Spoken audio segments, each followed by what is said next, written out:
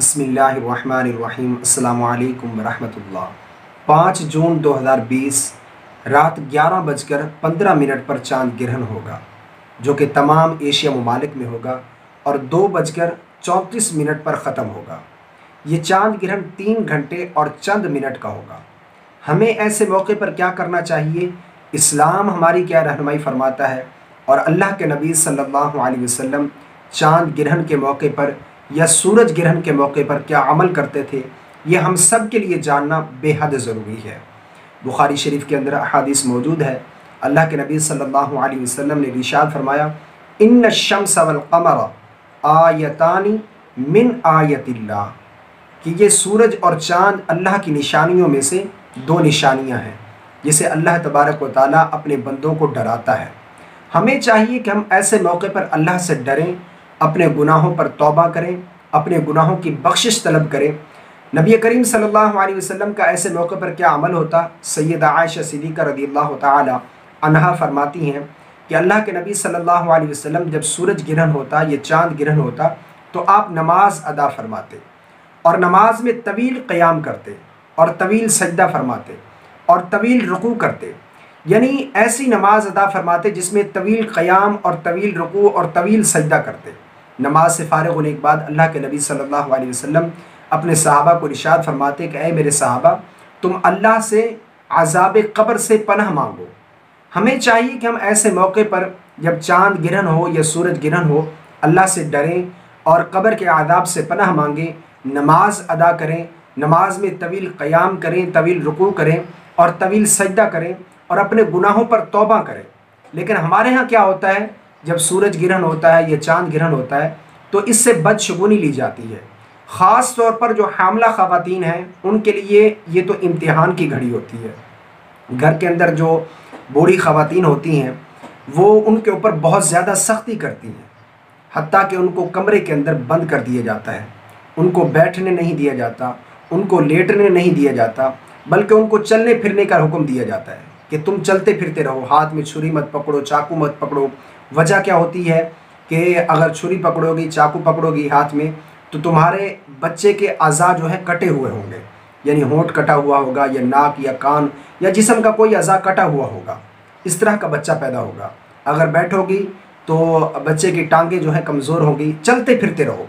मुझे बताएँ, ये कहाँ से बातें आई हैं? अगर इस तरह का कोई हुक्म होता कि चाँद ग्रहण के वक्त ख़वातीन जो हामला हैं उनके लिए ये हुक्म अलग से है तो अल्लाह के नबी सल्लल्लाहु अलैहि वसल्लम ज़रूर इरशाद फरमाते, साहबा कराम इरशाद फरमाते ताबेन इरशाद फरमाते। लेकिन किसी रिवायत से ये साबित नहीं है, जिसमें ये कहा गया हो कि जब चाँद ग्रहण हो या सूरज ग्रहण हो, ख़वातीन जो हामला हैं, उनके लिए अलग से ये हुक्म है। वो छुरी ना पकड़ें, चाकू ना पकड़ें, और इस तरह की बातें किसी रिवायत से साबित नहीं है। ये अपनी तरफ़ से मन घड़त बातें हैं जो इस्लाम के अंदर लोगों ने दाखिल कर दी हैं। और आई कहाँ से? हैं ये गैरों की तरफ़ से हमारे अंदर दाखिल हुई है। हालाँकि इस्लाम में इस तरह की कोई भी बदशगुनी नहीं है। जब सूरज गिरन हो या चाँद गिरन हो, नबी सलाम का ये अमल था कि आप नमाज़ अदा फरमाते और तोबा इस्तफ़ार की जाए और कब्र के आदाब से पनाह तलब की जाए।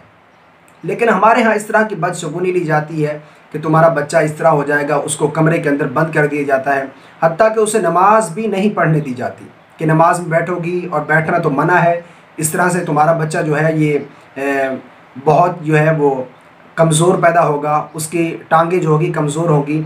इस तरह बहुत सारी बदशगुनियाँ ली जाती हैं। ये कहाँ से आई हैं? गैरों की तरफ़ से आई है।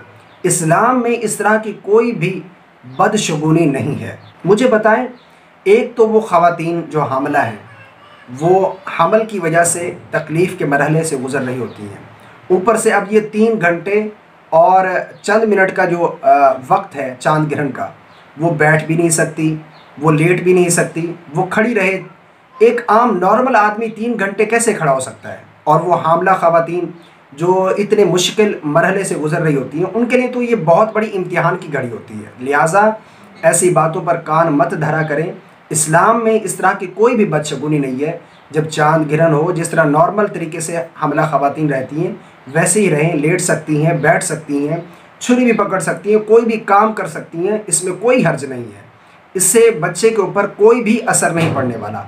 और कभी भी किसी डॉक्टर ने भी ये हुक्म नहीं जारी किया कि अगर चाँद गिरन हो तो बच्चे जो हमला ख़वातीन हैं, उनके बच्चे के ऊपर इसका बहुत बुरा असर पड़ता है। इस तरह का किसी भी डॉक्टर ने ये अपना हुक्म जारी नहीं किया और ना ही इस्लाम के अंदर शरी तौर पर भी कोई हुक्म नहीं और मेडिकल तौर पर भी इसका कोई भी जो है हुक्म नहीं है कि हमला ख़वान जो है वो इस तरह बैठे नहीं या लेटे नहीं या कोई काम काज ना करें, इस तरह बच्चे के ऊपर बुरा असर पड़ेगा। तो लिहाजा ऐसी बातों पर कान नहीं धरना चाहिए। हमें चाहिए कि हम ऐसे मौके पर अल्लाह की जो है फर्मा बरदारी करें। अल्लाह रबालमीन की फर्मा बरदारी वाले काम करें। अल्लाह रबालमीन से डरें, अपने गुनाहों पर तौबा करें, नमाज़ अदा करें, जो नबी करीम सल्लल्लाहु अलैहि वसल्लम का अमल था, और कब्र के आदाब से पनाह मांगे। इस तरह बदशगुनियाँ लेकर, जो है, अपने ईमान को कमज़ोर मत बनाएँ। दुआ है कि अल्लाह रबालमीन हम सबको दीन की समझ अता फ़रमाए। आमीन। अस्सलाम वालेकुम रहमतुल्लाह